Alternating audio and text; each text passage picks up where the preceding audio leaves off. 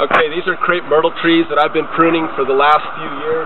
But somebody came in here in the last couple years and has messed up my whole pruning pattern that I had.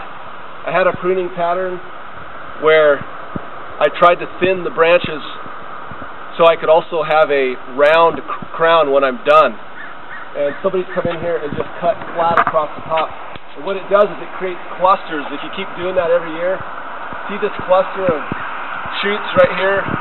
There's a whole bunch of shoots in one cluster, and right here's kind of a cluster.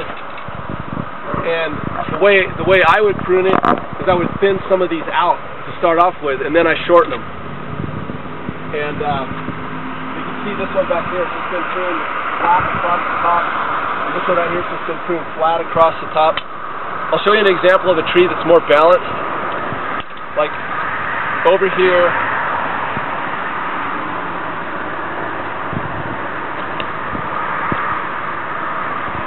This one doesn't have a lot of clusters, and it's, it's more, um, this is more evenly spaced, but I still have to prune this down a little bit more. This one's an example right here.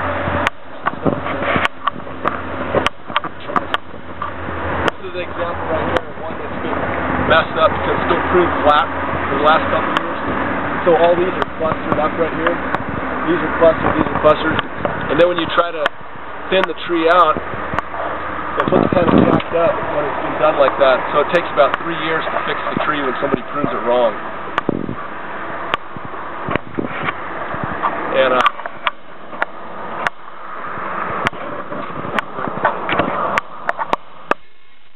So my pruning technique is different. Is I'm not just going to take the tree and whack it off straight like these guys did. You can kind of see on this tree right here, where last year you can see where they cut here, they cut here, here, here, here. You can see where they just whacked it off flat, and it caused all these shoots to come out all, on the same level. And that's the way most municipal or city groundskeepers will, will do it. They'll just whack the tree like that flat across because it's quick, it's easy, boom. I, I try to not do it that way. I try to, what I do is I'll thin out all these clusters first. Like I'll take this middle one out, I'll take this one out. Where there's a big cluster, I only want like two at the most three. And like this one right here, this big fat cluster right here, I'll take this whole thing out. then when I've taken them all out, then I trim the heights down of all these shoots, and I trim them down about half their height or less.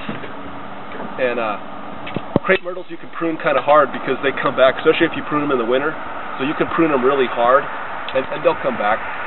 And even if you're not good at pruning, if you just if you whack them hard, sure they'll put it produce flowers. But I try to do it nicely. I try to make it round, and I try to thin out all these clusters so you don't end up with it like this, where it's just got massive amounts of shoots in one at one level in the tree. It uh, it messes up the way it looks, I think. And uh, I'm just gonna show you here real quick what I'm gonna do.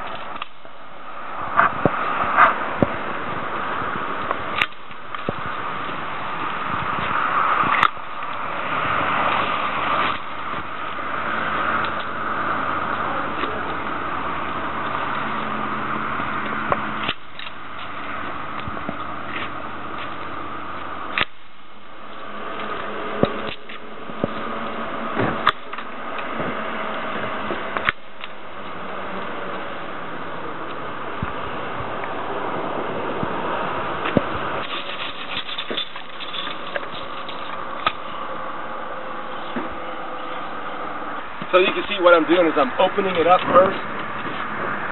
and try to get rid of some of those thick clusters, and then I'm, and then I'll go around it and, and lower all the shoots that are left.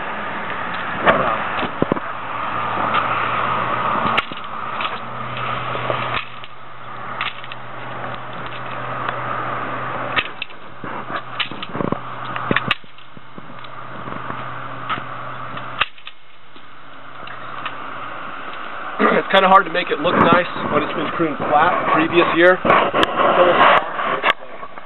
It'll take me about three years to get it back to the way I had it originally.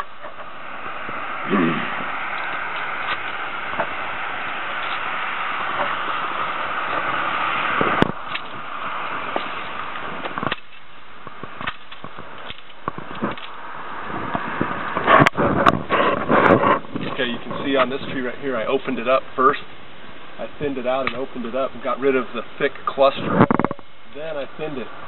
This tree's been pruned wrong for the last three years, so that's why it looks kind of funny, but this tree over here, they didn't do any thinning. They just cut it across the top, boom, like that.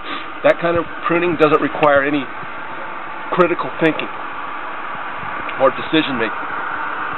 All you have to do when you prune a tree like that is just whack everything off at the top. That doesn't require any thinking process. This right here, I had to make a lot of decisions. I had to decide, should I cut this branch off? Should I cut this branch off? I cut off a lot of branches to reshape the tree and get rid of the clusters. Then I then I gave it its final trim at the top. And it requires more thinking because you're making decisions. You have to decide how you're going to thin it out. And when you just whack it off the top, it doesn't require any thinking. And uh, that's the way most people prune. They don't think. They just I call it a whack job, and that's the way most tree work is done nowadays. I'm trying to show you something different. If you'll pay attention. Okay, now this tree right here. I'm going to thin it out and I'm going to open it up the way that I prune it and you'll see when I'm all done. So, like for instance right here, the cluster there's, there's one, two, three main branches. I always take the heavier, I try to take the heavier ones out because I want the lighter ones, the skinnier branches to grow up and become the new dominant, the new apical, apical dominant branches. And uh, they want the trees to be a certain height. They don't want them to get taller. So I take out the heavier ones out of the cluster. Like over here, here's a cluster of one, two, three, four. I'll take out this heavier one, and uh, like using these loppers. This is a Marvin head. This is an ARS pruner. ARS. Long reach pruner. These things are nice. This is a, uh, the old original Fred Marvin pruning head. Okay, like right here, I'll take the center one out. And uh, this one right here, I'll take out the whole heavier one right here.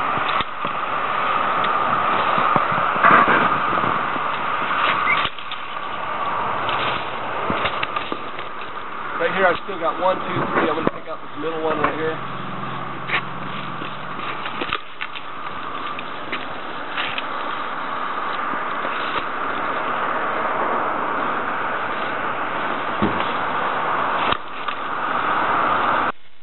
So right here, you can see the way I opened up this tree. It's uh, thinned out. It's looking a lot better, and I rounded it out. And you can see that in contrast to this tree right here. It's got full of clusters, and it's clogged in the middle, and it has no really good shape to it. It just was whacked along the top, which is the way most people do crepe myrtles. And some people may wonder why I leave some of them high. Some of those shoots I only trim like half down. Most people trim them so they're just short little stubs, like that long, like two inches long. I like to leave some of them high because that's what the tree's trying to do. It's it's trying to. Some of those branches are trying to have achieve apical dominance, and I'm going to go ahead and let some of them, and they they flower out, and it gives the tree actually when it flowers out a really nice look. Instead of the, the flat method like that, what it does is it makes all the flowering clusters cluster in the same region. So you just have this thick wad of crepe myrtle flowers all in the same region. Whereas here, with a tree that's been opened up and thinned out like this, the flowering area is more evenly distributed and more asymmetrical. And the asymmetry is evened out, you know, around the whole tree, so it actually comes out to be to look symmetrical, sort of. Uh, but it's more rounded and even, and the, the thickness of the clusters are more evenly spaced instead of just being in one area.